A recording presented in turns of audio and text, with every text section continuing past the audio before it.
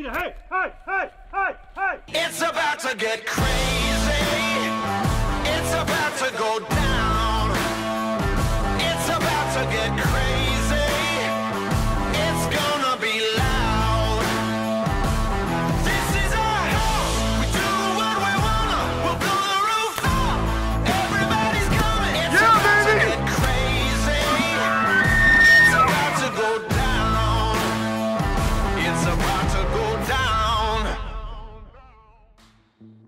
You are listening to the Gritty Podcast where we talk about all things gritty.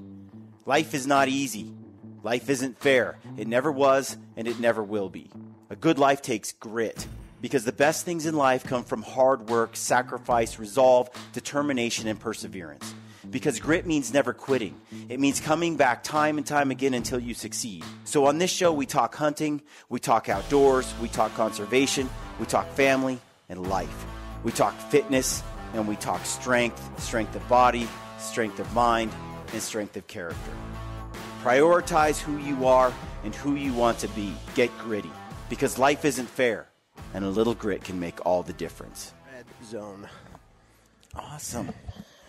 Hey, thanks for the detailed script on this. Yeah, Yeah. yeah. So I mean, if we it's- can it's just gritty. Bruce, if we It's can gritty. just follow that to the T, it'd be really great. Yeah, we're not going to go in any rabbit holes. We're going to stay on script, and we're going to have a great podcast. Is that is that Burt Reynolds? No, but that guy and the first rabbit hole is here, everyone. is this. That's actually my favorite picture in our entire corporate history of pictures. That is Jack Slack, who is the who was the son-in-law of Marcus Leupold, and he was the head of sales. And the dude was insane. He just drove around everywhere, selling Leupold and killing deer. Dude, he looks like Burt Reynolds. No, I, Like he looks like a he looks like a Smokey and the legend. Bandit right Yeah. there. It Yeah. is, yeah. Yeah. Yeah. So we legit, we have two guys that work here. That's their pappy. oh, seriously. Wow. That's their grandpa right there. And, uh, yeah, he just, he cruised around and that's what he did. He, he just, he was selling Leupold out of the back of a station wagon That is so cool. smacking deer. What year is what year is that photo? Because that's a heavy horned buck. That's a great buck, isn't it? Where Look at that- That's look at his here in neck. like Eastern Oregon. I, I don't know where that picture was taken. He was, he was a really good friend. And that's a cigarette, right? In the right Absolutely. hand. It's a cig and it's a That cig is, in the right and that's hand. what's so legendary is th- this guy is like just shot a buck. the mustache. Also, I just sold some scopes. Life's good. Dude, he throw it in looks the trunk. He also Yeah. look at his shoes. They're like dress shoes. Oh, he Yeah, like he, he is. is. He just got done with church. He's a pimp. Yeah, We- we're going to show you guys this. We will make sure we video this. So you see the visual of what a legend truly looks like. Like this is this is how, you know now today. This is what's kind of funny is now today. Here's this this uh, gentleman. What was his name again? Jack Slack. Jack Slack in a pair of slacks. What a name. With some penny loafers, rocking a cigarette, got his Leupold scope rifle, a beautiful buck, doesn't give a dang. Nothing matches. Meanwhile, all of us are like, "Well, I got to have my Sitka subalpine, I got to have my boots, and I got to have my gloves." It's and pretty cool. He he What's- probably is more successful than No, I'll he ever snuck, be. and I, he snuck on that. And he deer. snuck in on that buck. Dude, Tell me- times have changed. what is the car? Is that a What does Plymouth? that say? Plymouth? It looks like an R. I don't know. Is that a Riviera? It looks like A Buick Riviera, I think. Is it? Is that is that right? It, it feels looks like, like it could be. That could be a Riviera, or it could. No, that's No, it's a a- P L Y M. It's a Plymouth. Yeah, it's It's a a Plymouth. Plymouth. of some kind. Are those still around? Um, They still exist. I I think they, like Pontiac. Like I, I remember that company that used to be around. It's not anymore. Right, Pontiac. I Yeah. don't know. Okay, so Plymouth? so Bruce, uh, for folks that are listening, if you haven't f- figured it out yet, we are in Bruce Pettet's office, CEO of Leupold. Uh, Bruce, thanks for coming on the podcast. Yeah, thanks for uh, visiting us. Yeah, uh, it's been a great day. We've we've uh, knocked out a couple other shows with our illustrious guest to your left, Oh, Tim, yes. Tim Lesser. Nothing less than the best. Tim- Tim Lesser. Lesser. By the way, is Lesser? It's Is- not morer. Like Well, Lesser? no, lesser is more. That's the thing. Are all Less new. Is more. heard any- Lesser is more. Created. You guys are marketing. Yeah. yeah. I can tell. Never heard that. Yeah. We're we tell. Hey, we tell your story, bro. You know. so, what Yeah. is uh, Lesser? Is that English? It is. Uh, well, yeah, that's the English spelling. Uh, no, it's German. Um, Is it? My dad's side of the family. Yep. Where does the We where does the red and white complexion come from? Mom is Irish. there it is. That's why. That's why we get along, man. Yeah. we're using like we said in the last one. SPF, ginger SPF jeans one thousand. We Otherwise, we're gonna burn up. My Me- son is bright red hair, Really? see through skin. Yep. He's awesome. Yeah. Meanwhile, He Bruce is awesome. over here sitting like a Viking. Yeah, we learned that's right. today that Bruce is a Viking. Yeah, it's uh, it's true. Yeah, so true. Like Ragnar. I think somewhere in his family, Gino is Ragnar Lothbrok. It's and that's why he's got. I mean, so we're talking about this but guy. I mean, Pettet is a French name. That was the theory Pet- until I did my 23 and me, and it blew that out of the water. Yeah. Like, no, actually, you're not. That's six percent. Sorry. Wow, You're you're from northern something. that's unreal. something. I just didn't have enough Native American. I wanted a little. Yeah. Oh, you dude, know? free pass to all the casinos. I wanted that. Yeah. Yep. Didn't happen. Uh, we're at Leupold headquarters and we're in your office here, and uh, I'm looking around, and I have some questions. Okay. I need these two to just check out for a minute while you and I have a All right. conversation. Let's do it. I think that was mostly directed at you. No, yeah, he was. That's how he was so nice. He's like, "Well, I need you to." Tim never says anything. He's like, "Jordan, I need you to shut up, so me and Bruce can have a conversation." yeah, This is this is backfiring miserably. so Bruce, that mule deer Yeah. are these all yours? All these these these these mounts in the office? Yeah, no, actually, the mule deer is. So that was uh, taken on a property in Colorado that I've hunted for a number of years. So the McLennan family owns that property. Oh, yeah. and uh, you know Russell. Uh huh. Yeah, he's a good good friend of mine, and I've hunted with him for years there. So That's a um, started probably started hunting out there in 2000 or something, but that was uh, that was the buck that uh, was my dream buck out there. Yeah. I mean, he's just just the way he's laid out. That just he just he looks like the king, you know. And that that blacktail right there is on Yeah. loan from my beautiful wife. really Tracy. Yeah, so she she uh, she harvested that deer down uh, in the Melrose unit, which is down near Roseburg, uh, Oregon. So really made a great shot on that blacktail. And then there's a whitetail deer that uh, that I shot. I guess that was a couple years ago in uh, Oklahoma. yeah So just you know, kind of the Beautiful deer thing deer. going on. yeah. The blacktail really gets my attention. Isn't that cool? Yeah, I just am a huge fan of blacktail. They're like a box of chocolates. You know, you never know what you're going to get. Like Yeah. walking through the woods with blacktail. Yeah. The antler formations are always so bizarre and different, Mm-hmm. and and uh, the coloring is always super cool. That's a nice. Yeah, they're they're cool. Yeah. So that was a rifle hunt she went on Yeah. late season. Uh, yeah, yeah, middle middle se- middle, Middle. of the season probably. Yeah, because he looks pretty. You know, he's not t- terribly ivory tipped or anything, but Yeah. he's still dark. Yeah. So Yeah. this thing right here, this water buck, Uh huh. where did that come from? So that came from Mozambique, and on a hunt that I went over there a few years ago. What a cool animal. Yeah, and it was uh, where where we hunted that water buck was literally in these marshy, watery, you know, kind of area where a lot of water buck now, you know, they're not always in that kind of. This was truly where, Where you'd they- expect the water buck to Yeah. be, and it was like it, it was the most amazing thing I've ever seen because you go out there and there's just that's a that would be a nice sized water buck, but there was tons of them, and it was just the right habitat, right place, right. It's on Coutada Ten in Mozambique, and they do a great job of of managing uh, the wildlife out there, and it's totally wild. You know, I mean, you got Cape buffalo everywhere, you've got you know lions on the property, and it's just a no fence. Um, I don't see very many water bucks. Like when you see like African mounts and stuff, that's Yeah. not one that I typically see. yeah, it's a it's cool. What's their, what are they like? Oily, Really? yeah, That's not what I was expecting. yeah. Even Oily. coat- Oily. I was expecting they're like water, water and oil. and then they have the weirdly, they have a, weirdly doesn't go together, but Right. yeah. No, uh, yeah, no, that, that, that cape is kind of an oily, you'd get a real oily feel to it. Did it, did the hair do what it does there or, It's- or it's a little does it dir- kind of yeah. grow in like that dovetail? No, that's it. Really? Yeah, that's it. That's really cool. Huh. Looks like it's been groomed It's that like way. it, It- when it I, wasn't. It reminds me of Maleficent, like yeah. kind of like Maleficent from the It's very just a very unique animal.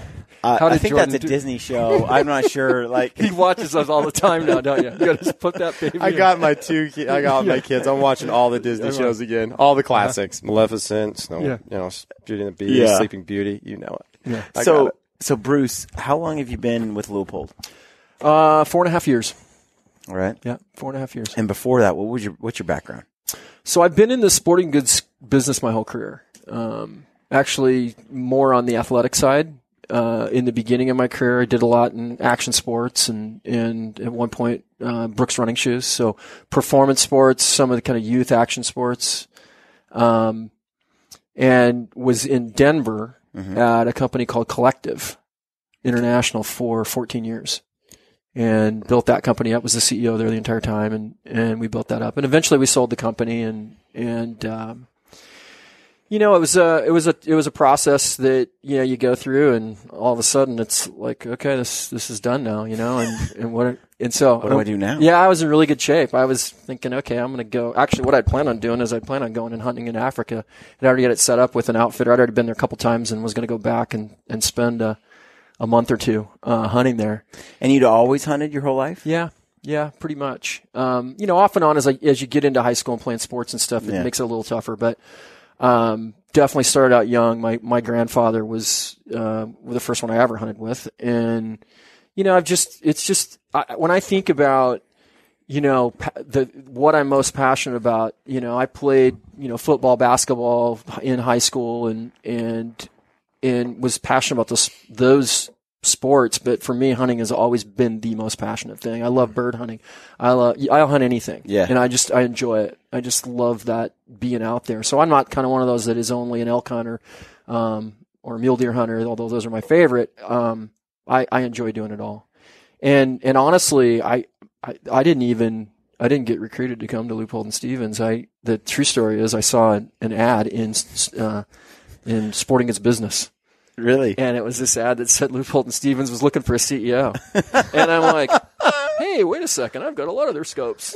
I should, you know, so so I'm in Denver, you know, and I, I look at this thing, I read it, and and and I probably had I don't know eight or nine, maybe ten Leupold scopes, and and uh, on various rifles, and and uh, so I kind of did a little search, and I thought, you know, I can do Oregon.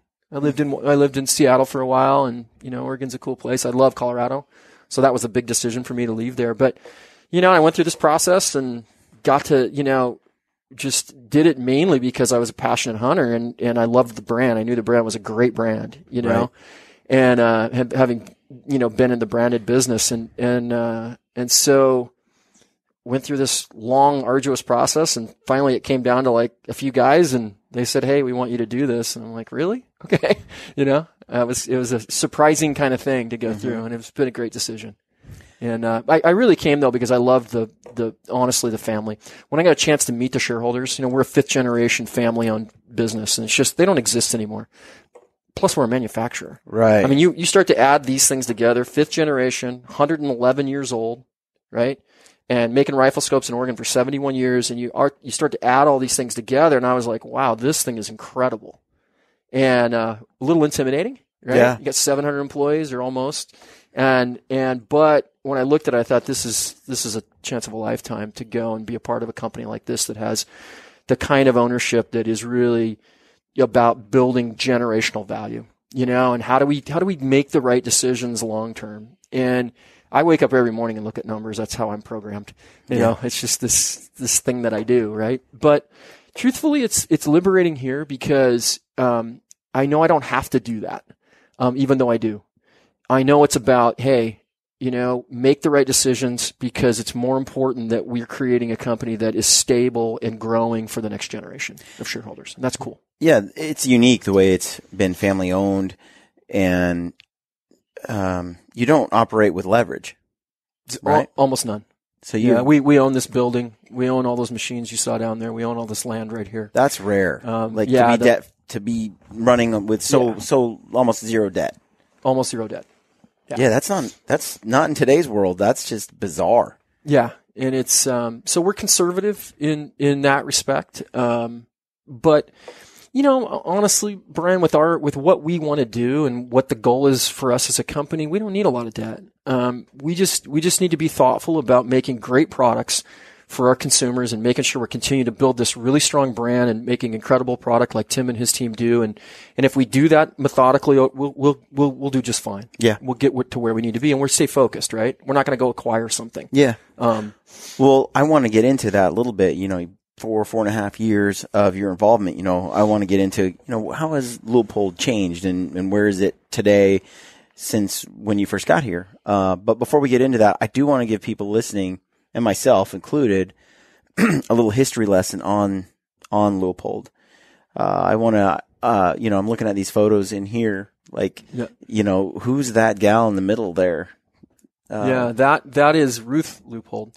So she was the wife of the the guy that you see on the left up there, which is with the fly rod. That's that's Marcus Leupold, and and there that's a great story. So so she actually this is this is really cool, but she got Marcus involved in hunting.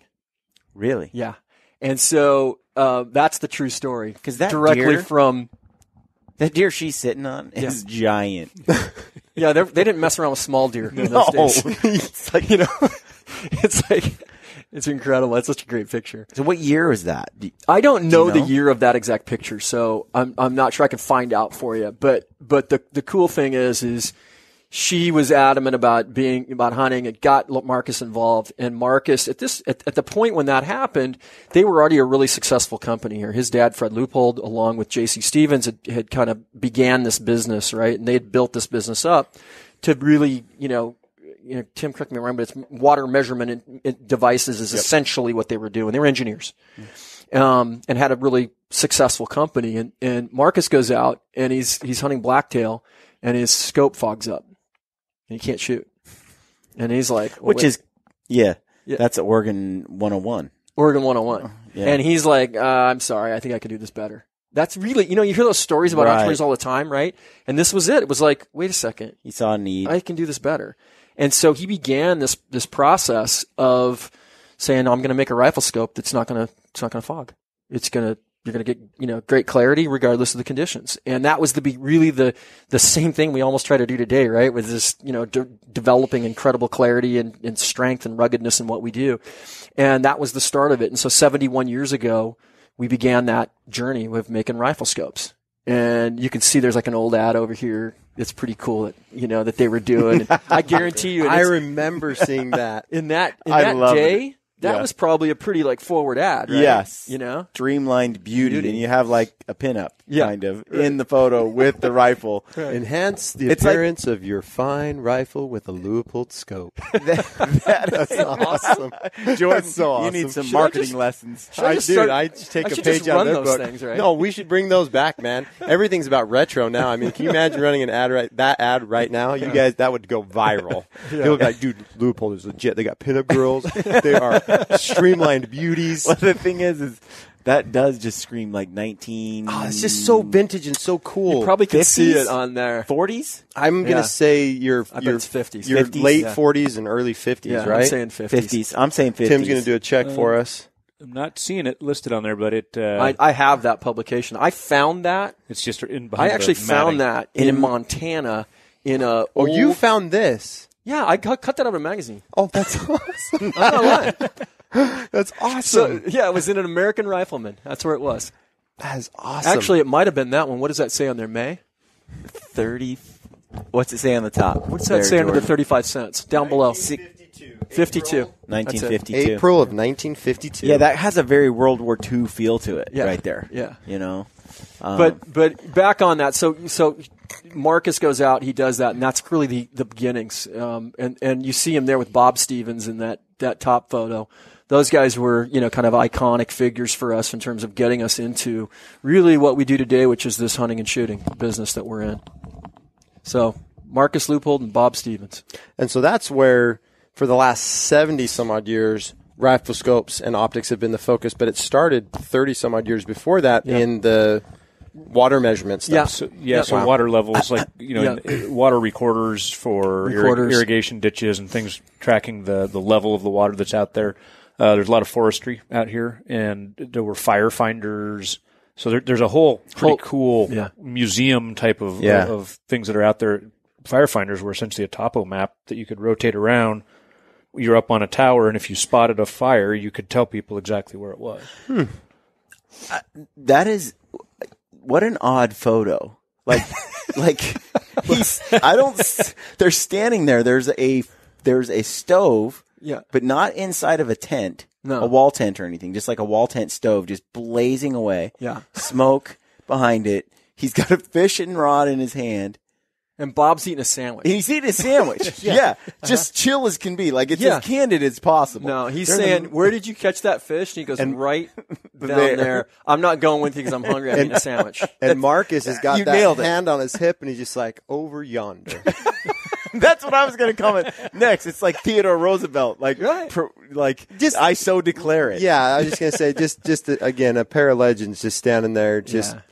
I mean, with a sandwich, just chilling, so- and building Yeah, something so, great. so Marcus's granddaughter is uh, Georgia Marshall is her name, and she's she's you know one of our largest shareholders, and and uh, just an incredibly wonderful lady, and um, and just so gracious, and still just you know this this really kind of cool matriarch of our family that, that was just in the other day. So it's a it's a it's a neat family.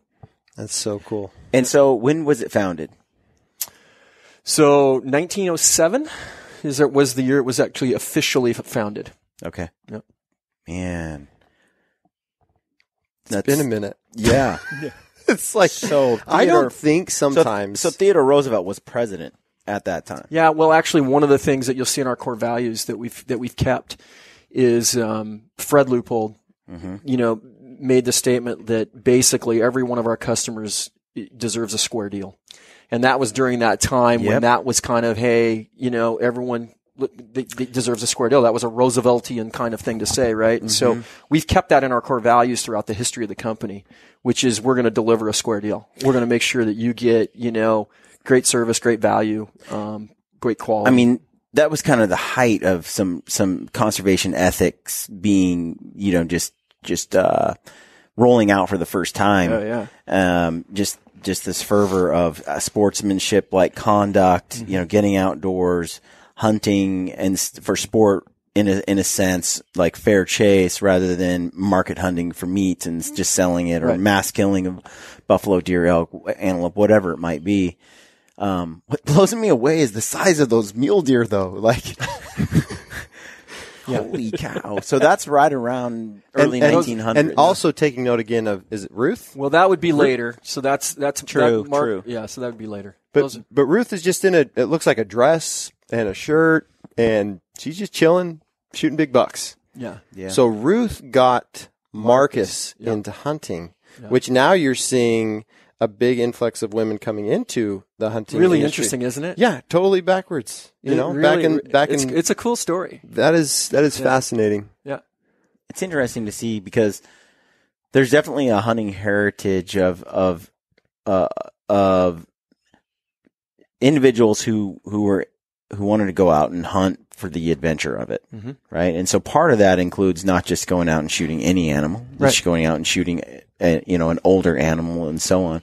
You kind of see that in this, but then there's that generation that was like, especially at that time, that just didn't understand hunting at all. Like it just doesn't make sense. Like there's so many other things to like farming, agriculture, business, whatever. Hunting was uh um you know, more or less uh, a way to get groceries, Mhm. you know. Yeah.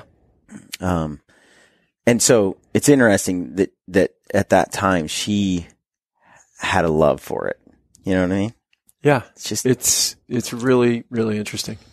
So he starts the company and and then uh tell me the history Well, it's really he didn't start the company, but it's a Well, shift, right? yeah. It was the shift of, of at that point because that was a that was a, a moment in time where eventually the other business was sold off, and the instruments business was essentially sold off, and we became really what we are today, which is a company that's focused on on sports optics, right?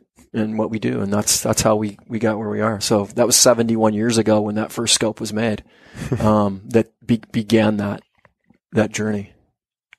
crazy. Yeah. Yeah. And, you know, and with that comes, you know, I mean, you think about innovations over time, and we have tons of them and patents and all these things. But like, we invented the duplex reticle. You know, that's kind of a cool thing, Yeah. which is why it's our logo. Yeah. that's why you can't use that as your logo. Yeah, because it's ours. because we invented it. so go ahead, try us. Why don't you put that on the hat? Let's see what happens. That's cool. I didn't. I didn't even know that. Yeah. I didn't even know that Yeah. was something that's uh, proprietary and, and was a unique in, uh, innovation from Leupold to you guys themselves. That's Yeah. that's awesome. Yeah, it's pretty pretty cool. So when did you when did uh, Leupold start to to to branch out from scopes into uh, like binos and stuff like that? You know? Yeah, I mean, we could go back and look. I, you know, I think what you'll see is kind of the spot. You know, really sick. Probably 50, you know, late fifties, sixties, and seventies is when you know you started getting development of other optical kind of things. But it was a very focused on rifle scopes and mounts too, our mounting systems, um, for a majority of the time. And then you know, as it made more sense, began to branch out into some other areas. I remember seeing my first my my uncle and my grandfather. They always did Leupold gold ring. Yep. like everything. Every rifle right. had it, right? Yep. And then uh, and then I don't know, I was maybe twelve or so, and I put my first pair, pair of binoculars I ever used were Leupold binoculars. Mm-hmm. They were kind of rubber coated the whole body. Mm-hmm. They were legit. Even mm-hmm. like back then, they Yeah. were they were a nice bino. Yeah. I think even Cabela's sold them for years after, uh, Yeah. like still sold the old school version. I was like, it, uh, cause they were that good for that long, Yeah. you know? Um, Yeah, I mean, I, uh, the observation product and, and Tim and his team has done a great job at, at elevating, you know, that. yeah, let's get into that because you're, you've been here for four and a half years. Yeah, almost five. Okay. Yeah. And where, you know, how are you positioned before that? And, and then what, what are some of the things that have changed since you've been here? Well, I mean, I don't, you know, we've had a ton of change. I, I think anybody who's been around us at all knows that we've we've we've we've made a lot of changes to to really, you know, when you have a company that has been doing what we do as long as we have, um, change doesn't come naturally, right? And you can um, rest on your laurels a little bit, and certainly the history of of of Leupold in the optics business is is a, is a strong one, and you know, people like you know, you know Marcus and Bob and, and on down the line. There's been there's been some great people that have that have, mm-hmm. have really carried a heavy load here. And, and but I think you go through times as, with the company that, that is a challenge where it's it's you might get complacent or you might have a certain way of doing things and, and you're you're stuck on that. And and I felt like when I came in that that we we really had all these incredibly great assets that that frankly we weren't taken advantage of or using properly. And and I think we had we had rested on our product laurels a little too long, um, and that we needed to make sure that that we began a product process that started with the consumer. And so I really believe in, in, in making sure that you understand consumer insights. I, I want to know everything about our core consumer and focus on our core consumer. If someone wants to buy our binos to go to the, a Denver Broncos game, and I don't blame them, that's America's team. I get it. but I'm with you 100%. but if you but if you want to you know if you want to um that's fine that's not our core consumer our core consumer is core hunters and shooters and and we got to understand them and make sure we're delivering product to them that that c- they, can absolutely at the top of that pyramid can can, can get it done. And while we had some products that can do that I, I wouldn't sit here and tell you that I felt like our entire product line was there. The one thing you know interestingly enough my very first hire um, in this was Tim Lesser. So Tim had been with the company while. He had left, and we just met, and I, I forget what the circumstances we met under, but but we were just having a beer, and I started talking to him. We started talking about product, and I'm like, "This is a product guy. This is great." And his background being a, you know, when you can get someone who has a background that's been, you know, a, a guide and an outfitter, and combine that with a love and passion of product, and then a really smart guy who gets it, understands the how it all works. Um, it, it's it's pretty special. So we got Tim on board to begin that process, and that's what we really did. Was said let's let's make product insane. Let's let's let's invest in it. Let's get after it, and and that's what we did. And it takes time here because we're not you know we're not going and kind of picking a, a rifle scope off the shelf and saying oh yeah put our logo on that. we're, you know, the Mark V, which the team just launched this year, which is absolutely killing it out there. That was what three and a half, four years in development. I mean, that's taken us a long time. We, knew, we knew we needed that three years three years ago, and everyone's like, "Hey, when's that thing coming out?" You know, and we're like, "Hang tight, hang tight, it's coming." But we've gone through this this process where VX6 HD is new, VX5 HD is new, VX3i. These are all new products in the last five years, four and a half years, right? And the freedom, and so we've really gone through and methodically looked at it, and and our we made rifle scopes job one because that's that is for us that's our epicenter and and that is what we absolutely had to focus energy on and make sure that we got that where it is. And when you go through our line now, you look at it and go, "Holy cow, that's an incredible product line in terms of rifle scopes." Yeah. Is there still a couple holes here and there? Maybe, but but it's pretty damn good, Mm-hmm. you know, all the way through. And and now the last couple years, you know, of course we're ahead of it. We know it's coming. Now we've really focused on observation. So that so wait till you see the Santiam spotter this fall that comes out. That's going to Yeah, be a hit, great Tim product. lights up like a Christmas tree. when We're on the last podcast just talking about. it. Like, you guys have no idea what we're bringing on that hunt. We have no. I'm like, I'd love to have an idea. Could you send me one? Yeah. He's like, no, you gotta wait. But uh, you guys are stepping up your game big time in that yeah, arena. Yeah, yeah, we are, we are. But it's just, it's you know, you can't do it all at once. No, it takes time. So you gotta, you gotta have a strategy, and you gotta stay with it because it's really there's a lot of things we can put an L on and sell. Um, to be honest, but Right. but you got to say, okay, let's stay focused and make sure that we're we're really doing this in a strategic way. And and we have a you know Tim has a product line plan out to 2026.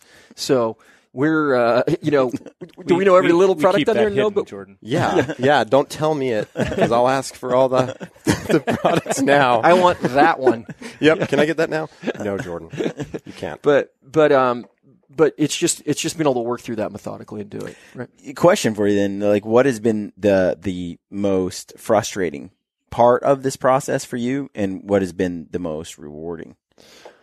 Uh the the most frustrating is i'm i know it probably comes across but i'm a little impatient. So i mean i want things to happen faster than they can often and that's the thing you have to be and, and i guess maybe through my career i've learned to to maybe oh, Tim might disagree. Pull off, you know, let the reins off a little bit, not not you know, and kind of hold and let let it get done. Um, because it's it's it just takes time, and particularly when you're manufacturing it, yeah and you know, it's it's a different thing. There isn't this instant gratification of being able to slap a logo on something. You've got to really, and and we have an expectation for quality that I don't think anyone else has. I, I my competitors might disagree, but but our expectation for what our product can hold up to. Um, because I'm going to tell you what I what I can't have is when you're up in the Yukon hunting that moose. There's no FedEx. They're not getting you anything. That has to work. yeah And I take that personally. Like it has to work when it's up there. And so for us, you know, our, our you, you, you, you get to get there just takes time and I can get impatient with that. So that's probably the most frustrating thing is you want things to change faster, right? what do you think tim I would agree with that 100%. Yeah. You know, we talked about it a little bit with trying to make sure that it always performs. That you got to continually break them until you can fix all the spots that'll break. And it takes time to, to work that out. You could definitely do it faster and, and go by uh, some gut instincts, but we start there anyway. It's just, it's the unexpected. You, you got to be prepared for the unexpected. And the only way to do that is to really prepare, you know, and, and take time. Go out It- and break them. you know one you mentioned earlier being conservative and and uh, being you know very low low low debt load you're you're talking about a company that really values the long game Mhm. right um Right. and, and privately owned and, and all that like there's a you have that luxury too where you're like no we're going to do it the right way over the long game long period of time it's got to be somewhat frustrating sometimes when a competitor or someone else comes out with something that they capitalize on really quick, have a lot of great sales, cuts into your market and what you're trying to accomplish. But long term, have you found that you're winning with this model? Yeah, that that's the most when you ask me the kind of what I what I've what I've enjoyed the most or whatever is I just think that that what it really is is our strategy is working. And it doesn't you know, it doesn't happen overnight and and to see it come together where you know, I've seen in, in just the four and a half years that I've been here, the change in, in our competitive landscape pretty dramatically. And I can almost, you know, I won't do it, but I can tell you who I see kind of going where, you know, mm-hmm. based on how, the moves they're making. And and when, I look at it, the the, rece- the the the most gratifying thing for me is the the reception that our consumer now has to our brand, because we are really articulating the brand the way it really is. This be relentless and where we're going with that. That's our brand. That's that's what this company's been about. Yeah. This is. I mean, There's a lot of relentlessness. I'm gonna tell you. I'm gonna tell you something right now, man. at. There's no guy cooler than that dude right there. Jack Slack. At that day, that moment, right there, that was the guy. Yeah. Right. And so, you know, uh, for to be able to articulate our brand in the right way and and and have you know a, a- family of of folks around us, and we've had a lot of people fall off where it just wasn't the right fit for them, or it wasn't you know this right situation anymore. And now I think when you look at when you look at the the the whether it's it's folks that we're partners with like yourself or a Randy Newberg, or you go on down the line, the, the companies that we associate with, the individuals that we associate with, they all have substance. It's it's not this hype thing. And that's really important to me because now I can see that this this can build over the long run. It's it's happening. And, Yeah. And you know, That's there's times along the way where you doubt yourself, right? Oh, yeah. You doubt what you're doing. You've made these decisions. You're like, oh, come on, this has got to go. And it just, Your guys' model is a lot like uh, a Steve Jobs and Apple. You know, they were their their why was in everything we do, we change the status quo, right? And so you look at Apple today and their product line and how they approach the market from uh, the tech side. It's so par- parallel to you guys as you're sitting here expressing that. I'm just listening to you say like, yeah, I mean, I'm watching everybody else. I mean, look at, at look at the the computer and iPad or the pad space every other tech company in the world, Samsung, all these guys are always just changing everything all the time, adding new features, all this. And all the consumers are just buying it, right? And what does Apple do? They stay true to who they are, they stay to their core, and they stay the course. And they do eventually release those things that, you know, uh, Samsung released four years ago. And everybody's like, get with it, Apple. But guess what? When they do it, right. they did it a hundred times better than Samsung did. Their product's better. It lasts longer. Your investment into that returns ten times fold. And so it's just like I'm sitting here as you're as you're expressing that, and I'm thinking of the book "Start with Why" by Simon Sinek, and he parallels that theory of how how Apple was successful, which I think is just so parallel to why Leupold is so successful, because you're not willing to sacrifice um, your strategy and your delivery to market and who you are simply to just make a quick buck or or ride a trend. Right. You're like no, and, and we've talked about it on the last podcast. It just it's very cool the way you guys operate and how you guys how you guys have stuck to who you are. Yeah, well, I appreciate that. That's that's flattering. I, I mean, if if we could be a modicum like them, I would be happy. Yeah. But you know, but it's um, yeah, it, it it takes it's tough to do. And and honestly, I've made so many mistakes in my career where I haven't been patient, or you you see something as a shiny object you want to chase, and every time I've regretted it. And so it's it's it's it's it's not a simple it's not a hard thing. You surround you you surround yourself with really talented people. You give them the tools and you give them a focused strategy to get there. And then it's hard work. Yeah. You know. How do you find talented people though? That that can be tricky sometimes. Well, you go to a bar and have a beer and hit Tim I Lesser. to bars. mainly, yeah. just Bars. Bars. karma, karma. no, it's uh, we y- you uh, you know we have a we, our industry's great. Our industry is great, and and that's the thing is that what I've found is you've got to have people, and it's not in every single job of our you know 671 employees here. I, I don't expect that every one of them is a hunter and shooter. Um, I, I think that's unrealistic. Um, I, I expect them to be passionate about what we do Yeah. you know, and this kind of these epic moments we're able to create with the products that we make, and and so that's important to me. But, um, the the the talent thing is about finding people who are passionate about this thing we do. So you can get someone in product that you know you could have an engineer who's a really smart product guy, but if he doesn't get it. If he hasn't been out behind an optic, if he hasn't been out in the field, if it, you know, that's why we have the Optic, Optics Academy out in, in, in Madras out there where we can get people behind. We can, he can take his engineering team out there and get them behind it. You got to get them passionate people. And so you find the talent. So you guys met Kyle, right? Who we Yep. just hired. He's brand new. There's an example, right? This is a guy who was a controller for another company, larger than this one.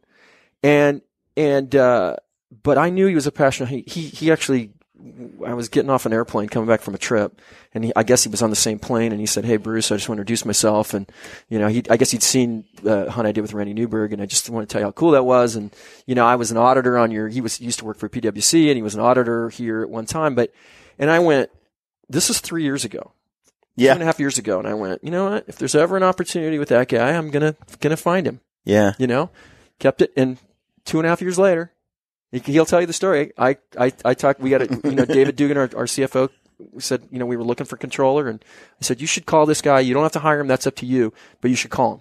And he did. And he has a, you know, so, so I found that one little, I don't need 20 controllers. I need one. Yeah. But I, but you know what? That guy loves to hunt. He loves to be out in the field. He gets it. Right. Right. Right. And you find people who are passionate about other things. So, uh, you know, our VP of Human Resources, she's incredibly passionate about people. You know, not a big hunter and shooter, although she'll go out with us and do it. But the reality is, she's so passionate about serving the the, the 671 people here that that's what. So I look for that, and then you, you know, if you have that piece of it and the core values align, the rest of it you can get there. You know, it's great Yeah. if they come in with an amazing skill set like like Kyle did, but but Kyle's pretty young for that job. He's got to be honest. You know, he's a young dude. yeah. Um, I don't know his age, but he's he's young. He's obvious, right? He'll get there. Which I like. Like if you go to mountain ops, everybody's a baby except me. So Yeah, know. there's we don't discriminate, but we definitely are. We have a very young group of uh, it's people. it's, it's almost comical, right? Like it's run by a bunch of kids. Uh, Drinking Kool Aid, right. drinking a bunch of Kool Aid. But um, one Make thing, grape. oh, making grape Kool Aid. yeah, one thing high I've- performing Kool Aid. well, one thing I've noticed there is um, that again, sim- some similarities to what you're mentioning. E- Everyone's got a passion Yeah. for what we do, like hunting, outdoors, conservation, wildlife, you know, the whole deal, and and then um, everyone's motivated on their own. I, I liked what you said earlier when you said, uh, you know, surround yourself with talented people and give them a direction. It's like it's not that hard, you know. Finding talented people, though, I think I've watched as as mountain ops has filled their their positions, and they're out there looking for talented people. And there's all sorts of people that come to the table and they're like, oh, that one job, want to work, and uh, and weeding through that and then selecting that that right person is, I think, the difference between you know extreme success or- and, and and even extreme failure, right? But or just mediocre growth, mm-hmm. right? It's this that finding the right person really is important. And a good CEO is good at that. Like And you look Mountain at any, is you look at what's that? Mountain Ops is hosed. Yeah, me and Casey were screwed. Yeah, we're no. We I think Bruce is a great example of someone who, um, as I've got to know Bruce, he can see potential in people, and so a guy like Kyle, you meet him, a guy like him, like you meet these people, and it takes a special person to recognize somebody's potential, because what he just said is so crucial in life. Everybody asks me, I want to get in the outdoor industry. I want to, yeah, how do I do this or how do I work for a good company? And, and the truth is, is like when you come knocking at the door, you've got to have passion. You've got to have that purpose and you've got to, you know, it's going to take a person like Bruce to be able to see that potential and be able to say, I can, I can excavate more of that with you here because what he said, what comes next is easier. If they don't have this, it's harder to get them on board and hard like he gets his team on board. He has a passionate team of people that are building products and beating the crap out of them, mm-hmm. making them better. And here's a guy who is running a company with his teams and driving 700 people deep into, you know, all kinds of different roles and responsibilities. But it's all because every person I've met here, Bruce, and we talked about in the last part, passionate, loves this place. The word family is always in their in their vocabulary. Cool. And very it's true. cultural. I mean, Very you true. hire for culture, and uh, who wouldn't want to be part of this culture? I just Yeah. don't know. Uh, Tim, I had a question for you. Yep. You know, because you're, you're sort of a nerd. Uh, I wouldn't say sorta. Full nerd. Pretty much. for Yeah. full on 100%. He'll he'll own it. Yeah. Dungeons and Dragons. so when you're you know you building these different products you're part of these these these products and these teams and you see what what Leupold is uh, developing and and putting putting to market if you had one Leupold product that you could that you that you could use from now on nothing else you had to pick one It's a bold question. one product what product would you like to have Trying to catch me completely flat-footed on this. Huh? One product. Um, you know, it's uh, Is this? Are you talking existing or made up in, in future? I better I better stay away from that. Yeah, I think you stick with existing. dude, it's gonna. It's He's out. He's thinking 2026. Yeah, I was like, um, sharks with lasers. That's the one with flubber. Yeah. no, it's it's going to be a rifle scope. Uh, I'm a, I'm a rifle guy. I like loud noises and, and recoil. There's something wrong with me there. Um, and I, I mean, it exists. It'd be the the VX5 HD. It's a it's a three to fifteen by 44. It fits on any rifle. Um, it'll do anything I need it to. I can practice long range at to 1200 with it. Matter of fact, I do um, pretty regularly. Um, but I can hunt with it. it. Goes all the way down to three. It's small. It doesn't mess up the balance of my rifle. Um, and as much as I need the observation stuff to find it, finding one doesn't do me any good if I can't hit it later. So I'd get some boots and I'd start walking around. Ideally, I'd have the rifle scope and some good observation. yeah, yeah. just I just want to throw that little monkey wrench in there. he just wanted But to if get you're you- doing- if he you're wanted to get that- right to the core of it. I'll go back to the, to the way I hunted before I knew how, which was be relentless. just keep going.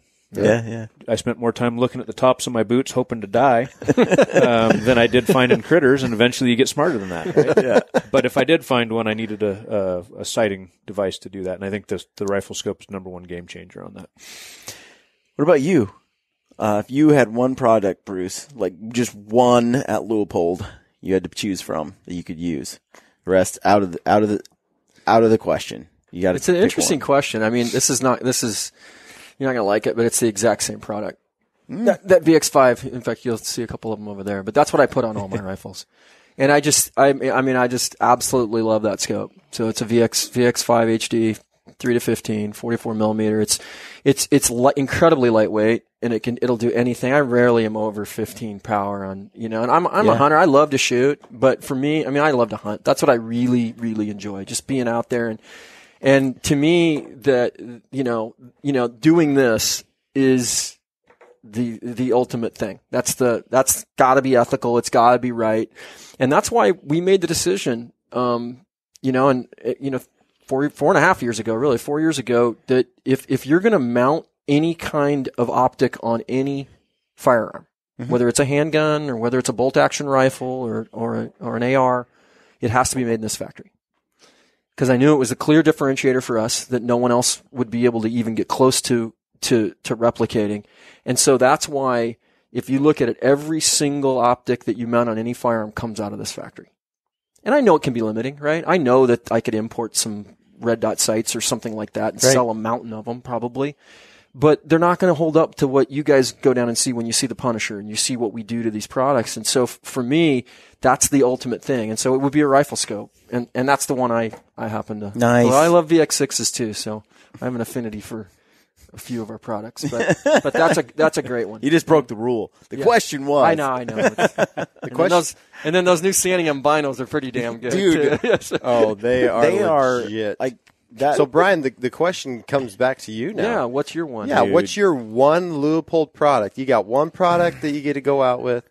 What's I gotta it going to say, be? I gotta say, um, being the bow hunter that I, I know am, where- I know where you're that I, headed, you yeah. know, I love to bow hunt. Um, right now, uh, it's the 15 power Santiam binos. Yeah, like, cool. they're just unreal. But uh, that said, like, I don't want any. I want. I want no other rangefinder either. Like, Right. I've played. You're an observation man. yeah, I mean, but I I do need a rangefinder desperately too for bow hunting. Like, can't live without that. But That's where that's where I thought you were. yeah, going. I mean, it's I, yeah. you and I are on the same. they're page. both like You totally threw us for a loop there, man. I just those 15 power binos are it's hard for me to bring. Okay, so when you're bow hunting, it's not it's not like rifle hunting in the sense that, um, um, spotting the animals is just like step one. Where where with the rifle, it's like okay, I found this 200 inch buck, I'm gonna go try to kill it, right? And you pretty pretty likely you could. With the bow, you're just getting started when you see it. So when I'm when I'm hunting with a bow, I can see through the binos whether that bow is, that deer is a shooter or not. Like I don't need to to be any dialed in more than that. That's a big deer. I'm going. I can tell from his body. I can tell from his his general formation. Is he a 150 buck or is he a 200 inch? But I don't care. It's a bow and arrow. Right, Like right. if I get in range, great. If I hunt the sh- shot more than the animal, it's I'm not I'm not that good of a hunter like compared to guys a lot of other dudes. So it's like when I go in, uh, you know, I'm not picky. I'm taking opportunities, and those binos help me find animals that I don't normally that I'd have a hard time finding with a 10 power or with a different or with even with a spotter. You know, you're looking through one thing, and uh, and so I can tell big is big with with 15s, and I backpack a lot in backcountry. So for me, I like glassing for hours and hours and hours, and like I said, I can tell if it's big. Yeah, you can do it with those. Yeah, It's So- much easier than sit behind a spotter. yeah. So I tend to Because you, I've seen some pictures of you on your BC hunt where you just mounted those straight up to the tripod and just mm-hmm. start I always gridding it video- I see a lot of guys doing that now. Yep. He I- was. He's been. I mean, that's. I was trying to figure out what you had on your hunt because I was looking back at all your mm-hmm. pictures, and that's kind of how you were rocking it. Is you just had those 15s mounted up, and you were just sitting there, just gridding the whole thing yeah. up. I think 15s on a tripod are way underrated. Yeah. You know, 15s on a tripod for bow hunting when you're when you're looking for just a mature animal.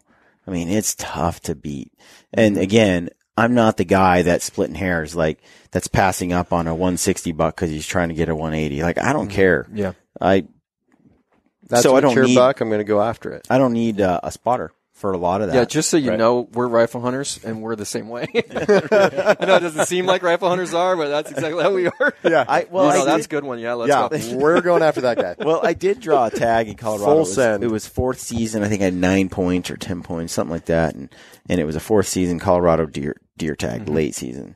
Turned out it wasn't the best year, but that was the first time in my life where I really wanted a spotter hmm. because I didn't want to shoot a 170 buck. Mm-hmm. I didn't know if I wanted. To, I knew that deer was big. I just didn't know if he was right there. So when when I and I've been on a couple of rifle hunts since mm-hmm. then, and with a rifle in my hand, I'm far more selective. Those little tiny details matter mm-hmm. to me with a rifle, when they don't matter with a bow. It's Yeah, I get That's it. totally fair. Yeah. but um, I'm excited about the new the new spotter, I think you're going to like it. and it's angled, correct? Angled or we both Straight Angled, coming angled out or with both. Yep, I'm I prefer angled, but we're going to have both. Um, there's people still still like both. I, you know, I what was it, a while ago? I I, I looked at a, uh, a a poll, and they were it was kind of somewhere 50-50 Yeah. between the two. Uh, but I'm all I'm all into the angled, but when it's mounted to my window of my truck, you know, I kind of like straight. You straight. got to sit on a phone book, look Yeah. down through the sunroof, back Yep. at it. That's the problem, right? The, as the windows get higher, you can't get your head up far enough to look down through an Yeah. angled. And I don't, spotter. I don't, uh, I don't. There you, You go. can. You just got to. You just got to. You're going to be looking You're on at your the sky. knees. Yeah. Like, "Oh, let's pull that guy down. Got a spoon Yep, out. well, kind of, and and Is that there, sparrow? I mean, I, I don't typically road hunt very much, but there are a lot of lot of hunts where we're like when we were in BC up there hunting hunting uh, bear and moose. Man, it was just stretches of country for as far as you could see. Arizona was similar, and having a a car mounted spotter was nice. Just spot and then drive to the next basin, spot, drive to the next basin, and uh, the angled was tough. it, it's tougher out of vehicles for sure. You got to lay them over on their side, and uh, it, it works, but it takes a little little. But otherwise, I prefer an angled every time. What you typically find mountain hunters like angled, and that's it's just They're because you're trying to sit in there. Your neck isn't like this. Try to look up with a straight eyepiece. It's it's tough if you're trying to look over flat terrain all the time and out in rolling fields. So when I was uh, guiding antelope hunters, angled was tough because I'd want to get out there in um, you know small differences in mass go a long ways on score with antelope, right? and trying to get out there, you get a lot of mirage, and the colors, everything starts rippling. Every buck on a hot day at over over a mile, mile and a half looks huge Yeah. because of the heat mirage. It makes Right. it doubles everything. and uh, getting out there, it was hard to, to stay low. So if you look at, uh at some of our gold ring spotters, they've got a folded light path design, and and if you invert those, which is what our military does, it gets the objective lens up to be the high point, so you can stay hidden in flat terrain and see. So that's one of the advantages with a with a straight eyepiece is that you're not popping up as far. Uh, in, a, in a military situation, the last thing you want most visible is your head, right? Um, and and so that's the- Yeah. there's a lot of, of, of unique needs for a straight eyepiece that that some folks may not think about. Um, Interesting. Yeah, periscopes keep the submarine hidden, right? Yeah. Spotting scopes can be the same way if you if you do it the right way. Well, um, we should. We're I have one last thing to, to let Bruce Yeah, speak yeah. to. We had we were having lunch today, and we were talking about this very thing. And Bruce got very passionate about all the things that you guys at Leupold are doing. And so where you guys have so much focus on so many different things in, in the business, and you know this as a CEO, you're you're having to divide your time and strategize on when to message certain things, whether it's product, whether it's uh, you know some conservation things. But it's it's hard. There's so many things to talk about. Right. One thing I just felt like before we close this up that I really wanted to let you speak to is how and truly involved Leupold is in the not only the conservation space but the public land space and the efforts that you guys are doing that you're not out there necessarily where there are a lot of companies or a lot of people that are very vocal right now and you guys are a silent giant in that space I feel like and I just feel like people should know what Leupold's doing and, and not, not, not like what you have been doing and what you continue to do for, for conservation, public lands and stuff like that. Yeah, I mean, I think our approach to it has been it's it's first of all we've been doing it for a while. This isn't something that you know Bruce has done. Um, we've we've been involved as a company for literally decades in in different ways, and I think if you talk to most of the the the conservation organizations out there, they'll they'll tell you that. Um, but you know our our our owners are you know our family ownership is passionate about conservation and about about you know public land access and and from surely a business standpoint, all of us have to be passionate about you know providing opportunities to to have our incredible passion and sport that we participate in have the ability to, to get more folks into it and grow and, and do these things. You know, I was, I was, we, I had a, done a public land hunt down in New Mexico with Randy a few years ago and we were successful. And when we got to the, the trailhead that we took off when we were down there, uh, you know, a few years ago, it was just a couple of trucks that were there, you know, cause Randy, you know, we'd figured it out and we'd done our, done our homework and we went back in and we, we had a, you know, an amazing hunt. And, and, uh, this time we, I took, we took my wife Tracy down there this year. Um, same unit. And, uh, it was interesting, right? And it, it made me really happy. And I, I told Randy this, that, that there was a lot of cars in that trailhead. now, you know, they figured out, right? It was, Right. it was great, but there was a lot of cars in the trailhead. And, uh, trucks and people you know, and, and we're like thinking, well, like last time we were the first ones on the mountain, you know, Right. uh, we weren't the first ones on the mountain, right? Yeah. Tracy's like, what's up? I thought this was like, I thought you said this was like your yeah, little honey but- hole. Nobody knew about but, it. but my point with that is, you know, I, it made me really happy because there was a whole bunch of people hunting this public land right there, and I was like, it's so different than even even I have changed as a hunter. It used to be like, hey. That's my spot. Oh, yeah. You know, and now I, I, I think it's, it's really about, look, there's, there's going to be tons of opportunity for a lot of us. Let's this, this ability for these folks. And we ended up meeting some guys that came up from Texas and, you know, people that were there that were local. And it was just, it was a cool thing you know, kind of this, know, there's plenty of land for all of us, right? This is a huge area. If you're willing to go, you can, Yeah. you're to find elk. You just gotta, gotta do it. And so that commitment to like we've had with supporting Randy as an example is he's been a great vocal point for public lands and for, you know, that's his whole kind of thing that he's about. That's, that's one element of it. And of course, backcountry hunters and anglers, we've, we've supported them and, and what they do. Um, at the same time, you know, Rocky Mountain Elk Foundation, you know, they have a, a, you know, what an incredible success. We have more elk today Yeah. than we've ever had. Right? That's phenomenal. What an incredible thing. And so to continue to support an organization like that and, and where they're going is, is critical to us. And so we're going to continue to do that. Um, Boone and Crockett, we've been a longtime supporter of, of, of many initiatives that, they- that they've had, uh, particularly on, you know, for sportsmen, we have to look at how do we, how do we deal with this kind of poaching thing that goes on out there and, and make sure that, that we as hunters aren't giving off this message to non-hunters that we just go out and kill stuff, right? And that, that actually, you know, we're doing things to support, you know, habitat and support kind of more, more, um, uh, you know, free kind of ability to, to, to provide this, this kind of opportunity for other people. And you can't do it if you're allowing this poaching thing to go No, on. the Nor- North American model of conservation crumbles if poaching is just Yep. falls apart. yeah.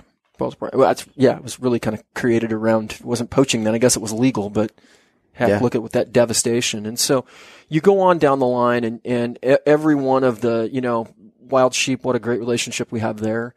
We support everyone. I, I, I mean, I, I would challenge our competitors to get involved like we are. I, mm-hmm. I'd love to see you guys get involved. At, at you know, we we spend a significant amount of time and energy and money, frankly, on on all of those organizations. And I'm missing some. I'm sure you know Mule Deer is going to say where you know, but we Mule Deer Foundation. You go down the line. We we do it with all of them. It's important, and um, we've got to do a better job telling that story.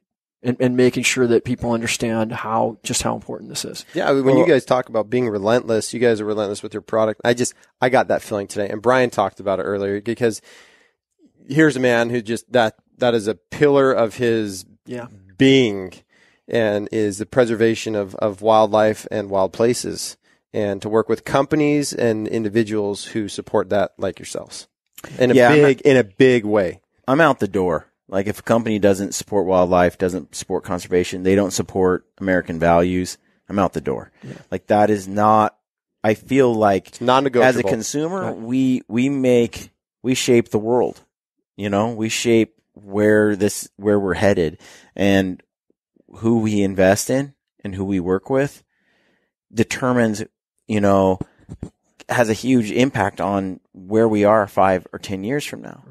And I feel like, you know, with the gritty platform, I don't want to use it to build up a company that doesn't do these things, you know?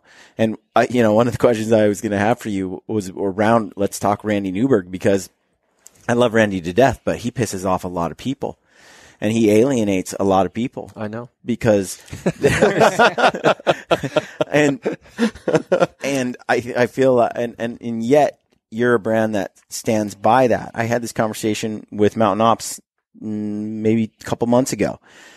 Where where do you stand on public lands? What are you going to do Right. around? You know where where are you with the Second Amendment? Where are you in these areas?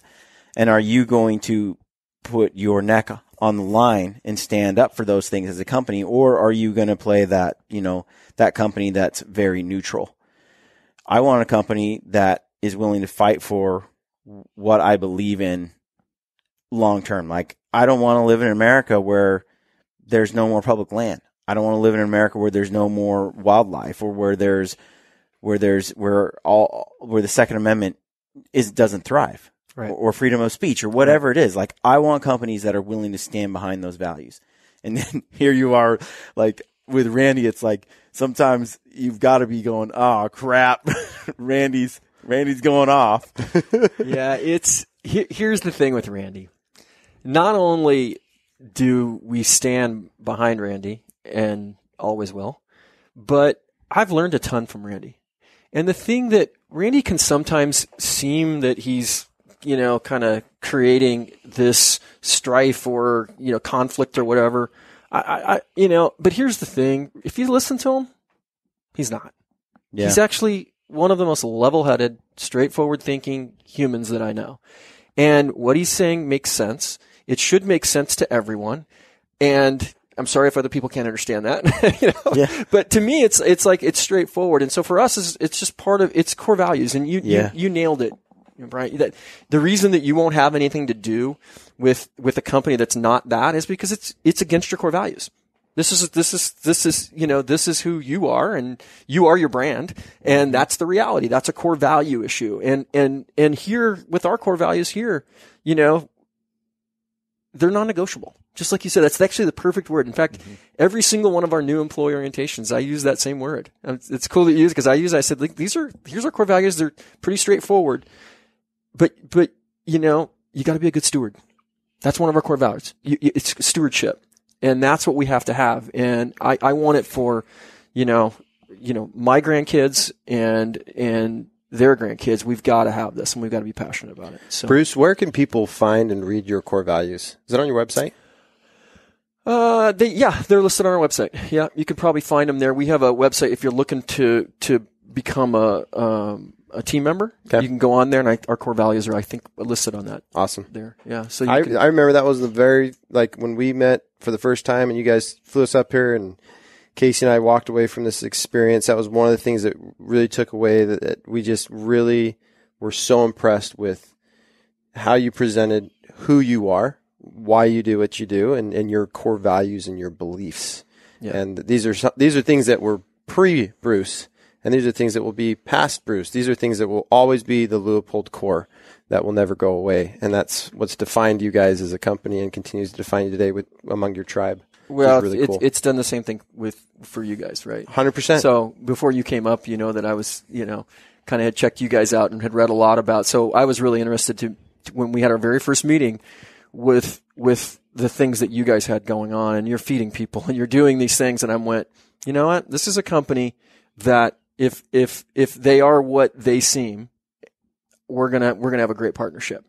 And at that point, we were just kind of meeting each other. And then, I mean, very few times do you have, and we have a few other relationships like that, but there's not tons of them where you have a relationship with a company like Mountain Ops where you go, man, we are aligned. This is, this is like, we can have a conversation about something, we can get on the same page and we can go. Yep. And we can do some great things together. Yep. And so, you know, the success that you and your brother have had is phenomenal.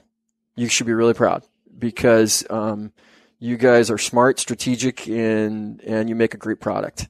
And so I, I just and but for me, it's you know we appreciate your friendship and and your partnership because I just feel like we're you know, we we speak the same language. all That's the time. that right there is it, we speak the same language. When you have similar beliefs and values, everything else is easy. Well, and you you never have to look back or wonder. It's Right, just right.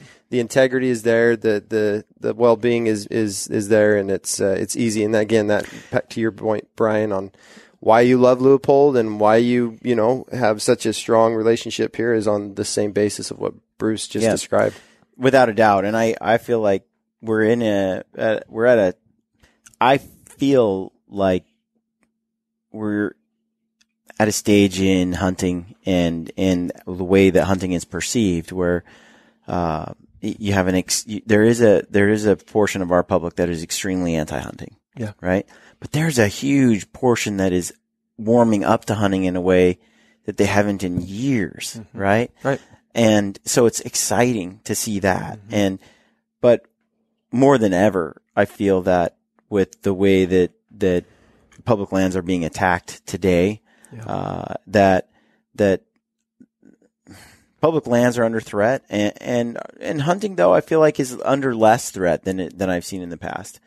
But we have this, uh, need, I think, as a community to come together more and, you know, stand united on these things. And so that's why I appreciate some of these organizations and that you're backing them because, um, you know, if, if we are not unified, we just don't have the same strength.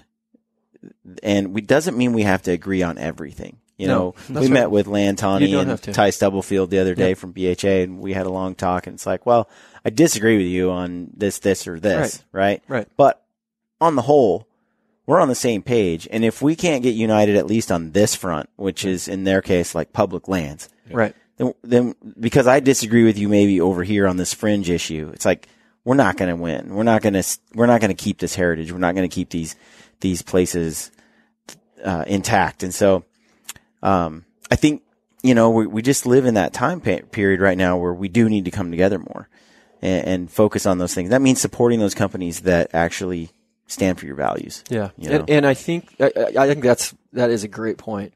and I honestly think that for companies, you know, like Leupold and Stevens, like Mountain Ops, and there's there, you know, the Brownings, where there's others out there that that have similar kind of, you know, I, I think that that we need to, you know, you've got all these conservation organizations all kind of doing their thing, and and the ability to find a place to come together with them and for us to kind of get help get them there is important too. Yep. You know, because we can all agree on a lot. You're right. Yeah. you, you We really nailed it. can. We can agree on a lot of stuff, and there's a lot more power when we're when we're telling the same message in multiple areas. Because to to your point, there's a whole group of people that that are showing interest or are at least agnostic to hunting, and and when you really kind of tell them the truth about it, and you Mm-hmm. just you know, it doesn't take much. It doesn't take No. much. It's just like, yeah, I kind of do want to know where my food comes from. Yep. Yeah, I, I actually kind of do. I kind of do, and I and I kind of want to actually cool. get it and cook Yeah. it myself. Yeah, no, that's Yeah. great. Yeah. Yeah. Yeah, Especially in Portland. It's like Oh, I, I was here. especially in uh, Portland. there's there's a whole ton of people who care about where their food comes Absolutely. from. Oh, 100 And they're like- I'm sitting there at They're- the They restaurant. wanna, they're save the animals. and the guy next to me is is like, "Hey, so uh, I'd like the chicken. Um, so I just want to know, um, was it a yard bird? Uh, um, what did you feed it? What was its name? What, what was its hobbies and No, interests? what did it like? he's stealing this from I'm stealing this from Portland. Totally. Yeah, yeah. totally- but that's Portland. But here's I- the thing.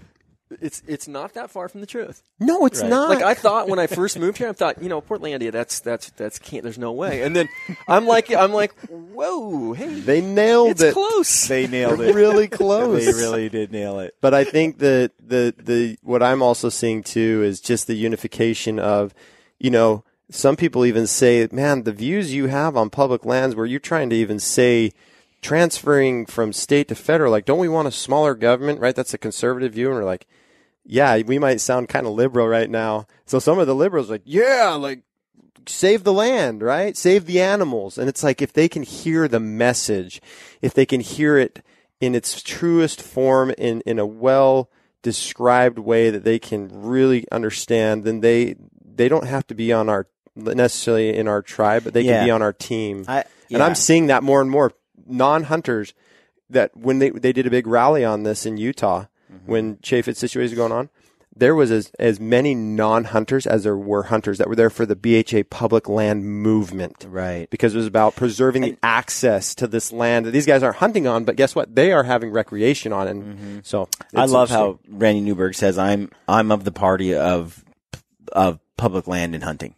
That, that's my party. yeah, that's right. You know, I don't like breaking it down into liberal, liberal, conservative, or Republican, Democrat, or anything like that. It's it's the land. It's, It's the, the la- party of yeah. hunting and fishing. Yep. Yeah, I mean, look, the, the, the best example is the guy who started it all. And if you look at Teddy Roosevelt, he wasn't popular um, in in some of those areas. I mean, these were big, bold moves Yeah. that were incredibly needed. I, I find very few people, if any, that go back and go, "Man, what he did for our national park that was really a bad idea. Oh, right. That was really wasn't that a horrible idea? the only people who you do mean that. You mean The you mean o- oh, there's wipe out all the elk? Isn't I- that a great idea? Yeah, the only people who I, say I that hate my national parks. I just Yell- hate it. Yellowstone sucks, and the Grand Canyon. Gosh, going down to Zion is the worst. Yeah, no. Do I you're- have to? Do I have to? This You're absolutely right, but I, I I think there's a whole there's a whole contingent of people that that still the people who do that are the ones that really want to take those public lands and dismantle them, you know. Um, and uh, but I agree with you. I think that's true, and so to to share that message, I think is critical because when people understand their history, what's at stake, and what's out there, a lot of it's just ignorance. Like Yeah. there's a lot I didn't know about. You talk about learning a lot from Randy. So have I. Yeah. I've learned a lot from Randy, and I'm, I feel an extreme um, debt of gratitude tor- toward Randy because there these are things I just wouldn't know if I didn't have his show and his podcast to consume. I've learned a lot about uh, you know I learned a lot from Steven Rinella. I really really Yep. learned a lot about like how to um, present hunting in a way that that other that the non hunter could could understand it. You know, because you grow up in this bubble of it's just normal, and then you're you're you realize the there's people who wonder why the hell you want to go out and stab an animal until it's dead. You know, with an arrow. Like, what's wrong with you? It's like, well, you know that that eh, to me is is it doesn't need explaining but it does. It does for the person who who didn't grow up that way and doesn't have that experience. So I'm in, I'm extreme extremely grateful to all those individuals that that share that message and and now I get to sort of participate in sharing passing on what I've learned and my thoughts on the subject to others. And I think there's that ripple effect effect taking place. And I have some people write in every now and then that are like so discouraged because you know, American Lands Council or or some other anti-public lands group is Senator Mike Lee goes out and does some lame speech, and I, they write in there like I- we're just it's we're doomed, hunting's doomed, you know, public lands are doomed, wild animals are doomed. I'm like, look, We're look, not doomed. we're not doomed, dude. There's a lot of hope here. Yeah. let's focus on uh, and I, I i have this conversation with my wife sometimes and others. I'm like and if we are who gives a damn? Because quitting isn't an option. I'm not gonna oh it's over and just roll over. It's like Yeah. th- there's no other option anyway for me. So you just gotta fight. And You got to be relentless, relentless. Well, randy newberg Hashtag. Randy Newberg, uh, I've seen him like really be, uh, he talk about it recently, like advocacy is uncomfortable. And if you're a company like Leupold, like Mountain Ops, it's going to get uncomfortable because when you stand up for those core values, you're going to have people that really push back. And that's something I've come to accept. It's like, Yeah. if you stand up for something, anything important, anything that you value, just be prepared that that's going to cause some controversy. Yeah, I mean, I think Jordan said it right. I think that you know you can't put you can't put people. There's there's no boxes that you just fit in. It doesn't work. There's not these two boxes, and you're in, either in this box or that box. That's ridiculous. And we're incredibly conservative. I'm conservative. The reality of of the matter is, you know what? I believe in in access and I believe in public lands and I want to make sure that I have a responsibility as all of us do as hunters to to to make sure that that stays that way. Because you know what? This is not I don't want this to end up to some elitist sport that only you know millionaires can go out and do. And and that's where it is in a lot of places. We have this it's it's critically important that we have the ability to go hunt on this public land and fish on this public land and enjoy the public land in in in a multitude of ways. But but that's part of that is that is uniquely american Yeah, it me. is. I That is uniquely American to me, right? And so that's whatever box that wants to fit in. You know, I, I, I'm I'm outside it. I'm over here. Yeah. Because that I agree that that is what's most critical, and it's it's critical to to this company and to our family and what it's about because that's that's who our customers are and that's what's important to us. You know, we we're going to listen to them. Hundred percent. Mike drop by Bruce. Yeah. right Well- there, everybody. uh, Bruce, uh, thank you for coming on the podcast. Um, greatly appreciate uh, the day down here Yeah, thank at, you. at Leupold. Tim, as always, it's a pleasure. I like nerding out. Uh, I don't know half of what you're talking about, but it's uh, Neither do I. But he he drops these five dollar words every now and then. You're like, man, that guy's freaking smart. yeah. No, he knows what he's talking about. No, it's been- BXI five, two by, three by, whatever. No, It's it- been uh, it's been great. So everybody here at Leupold is awesome. yeah, I, I just haven't messed, I haven't met a person. Even the guy who wanted to kick me out was super nice. Gus. Yeah. Just like, dude, who, who are you here that's with? his real name, by the way. Yeah. Gus is his real name. Gus was like, dude, who are you here with? And I then I dropped Bruce's name. I was like, Bruce Pettet, and he's like, where's Bruce? And I and I'm like, oh, That's right. And but I've got my temporary pass. Well, you need an escort. I was like, dude, Leupold has got it locked down. You are not walking through these doors and getting anywhere past this office without 700 people finding you and being like, who are you and why are you here? But he was so nice about it. And he was just, yeah, he's just, he's just, hey, Yeah. you're not a familiar face. What are you doing Yeah. here? No, it's it's uh, it's a pleasure Great company here. Yep. to come here. So, um, any any last words? thanks for all you do. Seriously, thanks for carrying the message, and we're we're just we're happy to partner with you, and and uh, appreciate you that. know we we really appreciate the relationship with uh, with with what you do, and and um, it's it's it's been it's been great so far, and I look to kind of keep it going for a long, long, long time, and As do I. yeah, As do I. I look forward to the selfie All right. stick in Kodiak too. Tim. That's it's right, gonna be Tim. amazing. Selfie Vlogging, stick. baby. Yep. Boom. Be relentless Be relentless. Hashtag and stay, www.leupold.com. and stay gritty, folks. Yep, that's Thank it. you. Despite our ever changing, ever indignant world with its growing ignorance of and indifference to the ways of the wild, I remain a predator, pitying those who revel in artificiality and synthetic success while regarding me and my kind as relics of a time and place no longer valued or understood. I stalk a real world of dark wood and tall grass stirred by a restless wind blowing across sunlit water and beneath star strewn sky.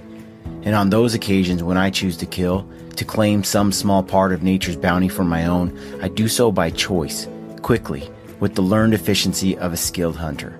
Further, in my heart and mind, I know the truth and make no apologies for my actions or my place in time. Others around me may opt to eat only plants, nuts, and fruits. Still others may employ faceless strangers to procure their meats, their leather, their feathers, and all those niceties and necessities of life. Such is their right, of course, and I wish them well. All I ask in return is no one begrudge me, and all of us who may answer the primordial stirrings within our hunter souls, my right to do some of these things myself.